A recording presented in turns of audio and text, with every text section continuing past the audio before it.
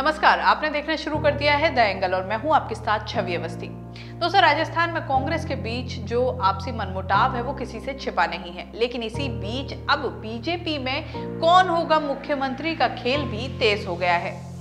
BJP के नेता प्रतिपक्ष गुलाब चंद कटारिया का एक बयान आया। उस बयान के आने के बाद तो मानो जो बीजेपी की आपसी रार है, उसमें और गर्माहट आ गई।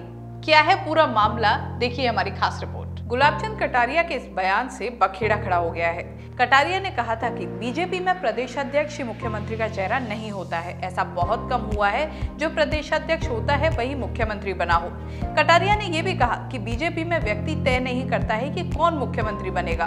गुलाबचंद कटारिया के इस बयान के बाद हड़कंप मच गया है।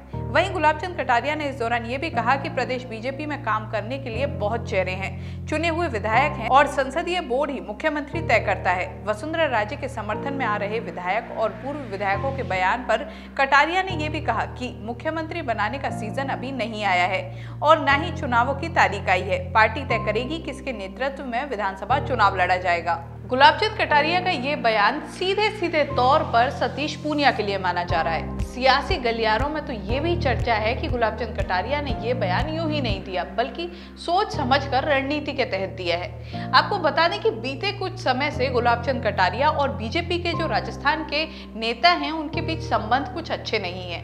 इसके उदाहरण हाल फ़िलहाल में भी देखने को मिले थे। अब जो ये नई लड़ाई शुरू हुई है मुख्यमंत्री के चेहरे को लेकर, अब देखना होगा कि क्या बीजेपी की स्थिति भी कांग्रेस की तरह बनती है या बीजेपी इस पर नियंत्रण ला पाती है या फिर स्थिति और ज़्यादा भयावह होती है। इस तरह की खबरों के लिए दाएंगल देखते रहिए, चैनल को ज़रूर सब्सक्राइब कीजिए।